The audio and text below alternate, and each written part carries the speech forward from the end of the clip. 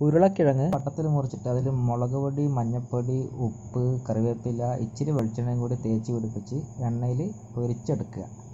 ചോറിന്റെ കൂടെ ചൂടോടെ തട്ടി വിട്ടോളിട്ടോ